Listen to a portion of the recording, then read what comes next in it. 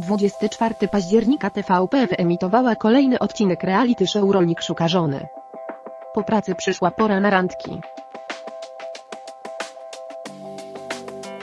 W niedzielnym odcinku Rolnik szuka żony nie brakowało emocji.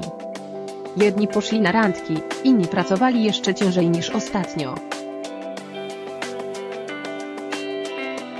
Rolnik szuka żony. Kandydatka Kamila zrezygnowała z udziału w show. Była faworytką. Krzysztof odesłał jedną z pań z kwitkiem. Odcinek rozpoczął się od przedstawienia sytuacji w domu Kamili. Kobieta zaprosiła panów na randki.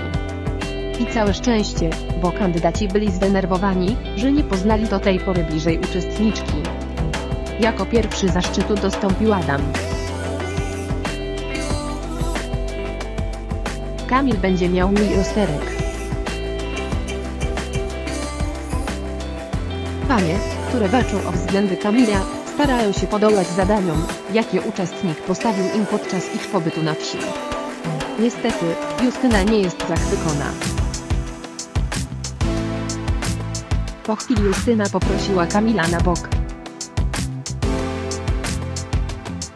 Krzysztof podpadł dwóm paniom. Gołym okiem widać, że Krzysztof zaczął lokować swoje uczucia w Bogusi. Piekłana i Katarzyna są wściekłe, że mężczyzna nie mówi wprost, co czuje. Jednocześnie potajemnie zabierając ulubioną kandydatkę na spacer po zmroku. Krzysztof zdecydował się w końcu spędzić trochę więcej czasu ze Skytłaną. Niestety, tylko po to, by odprawić ją z kwitkiem. Wyznał, że nic do niej nie poczuł, nie poczuje, Fachemie ma inną kandydatką.